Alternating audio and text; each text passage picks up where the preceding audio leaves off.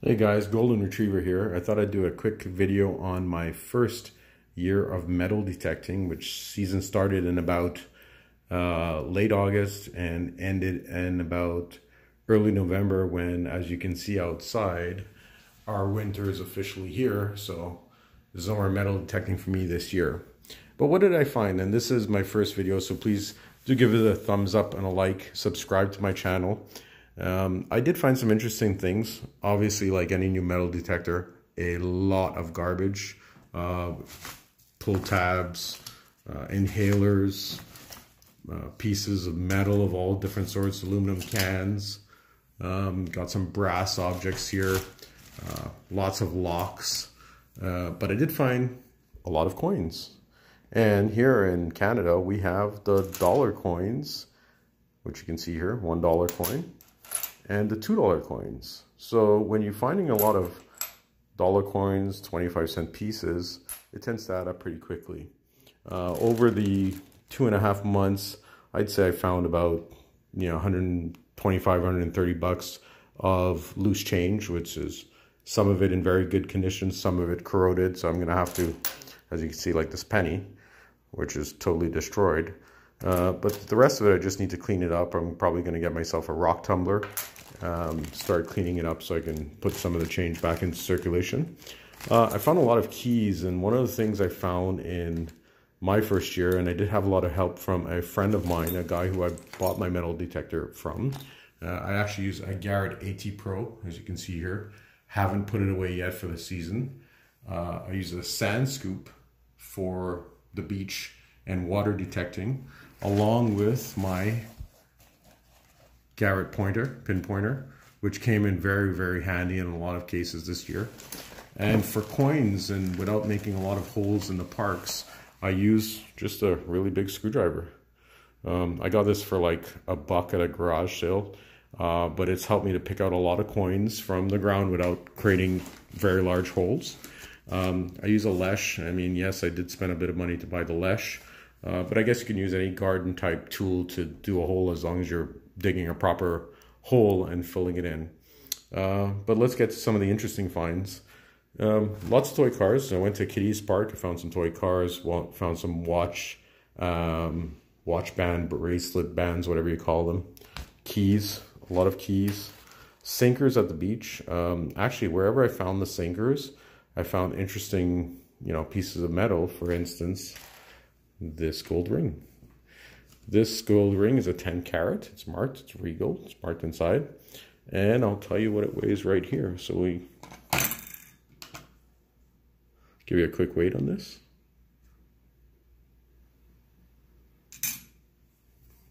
Three point two four seven gram, my first first ever gold ring, and I found that in the beach. Um, after a lot of perseverance, I'd spent a few days hunting at the beach uh, came up with this first ring, which I thought was amazing looking.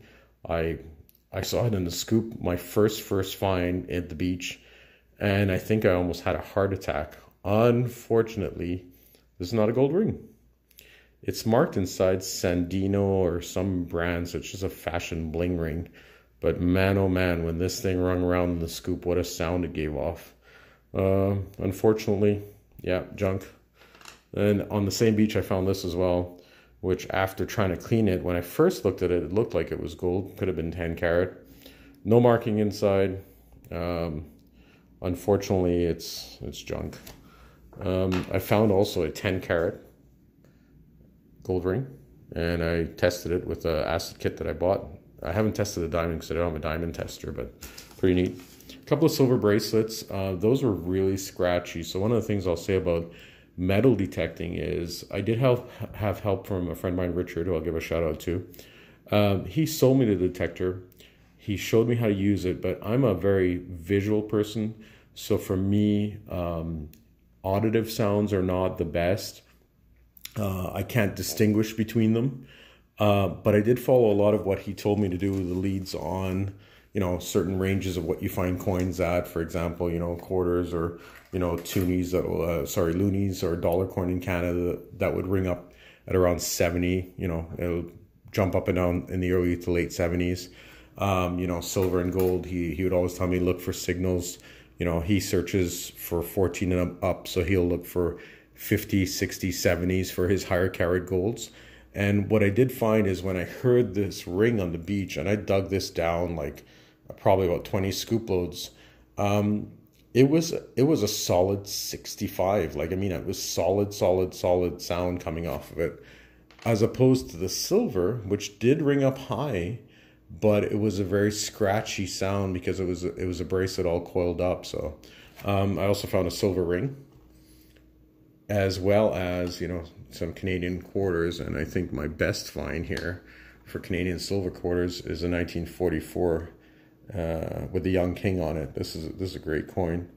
Um, some small 10 cent pieces, um, newer, 1950s. Sorry, I don't have my glasses on. It's 1950s or early 60s. I'll see if I can get it to focus. 10 cent in silver. Um, those are great to find. I found a Jefferson war nickel. We don't find a lot of Canadian coins up in Canada. Uh, sorry, American coins up in Canada, but this was really nice. I don't know if you can see the date on it. It's a 1911 wheat penny, but it's in terrible condition. I mean, I dug this out of the ground. You can see, you can see the one cent on it here. If I can get it to focus right there. And yep, I did nick it. Sorry, regrettably, I'm new to this, so I know I'm gonna get a little bit of backlash for that. Also found a lot of junk, blingy type bracelets. This I thought was gold until I started cleaning it. And then as you can see, the color came off. And I did an acid test and on the back there's there's copper or brass or something that's coming out of it. But when I pulled it out of the sand at a kiddies park, oh man, oh man, I thought this was a gold bracelet. I think I almost had a heart attack there as well. Uh, found some interesting, that's a copper ring. This I thought was silver, but I saw a bit of rust at the top, and after testing it, you could tell it's definitely not silver. Uh, but tons of bling, dog, dog tags, shotgun shells. Uh, these these are rode away at the beach or at uh, certain water hunting grounds where only the bottoms are left, and they ring up really nice because they're round. But yeah, um, but where I found the heavy sinker, I kept following a line of shells and heavier stuff, and that's where I found that gorgeous gold ring. But thanks for watching. I appreciate you guys following the channel, liking the channel, and subscribing. I'll be posting a few videos on some of my hobbies, uh, one of which is metal detecting. But also, uh, I do a lot of e-scrap and scrapping of computers. It's kind of a sideline hobby of mine.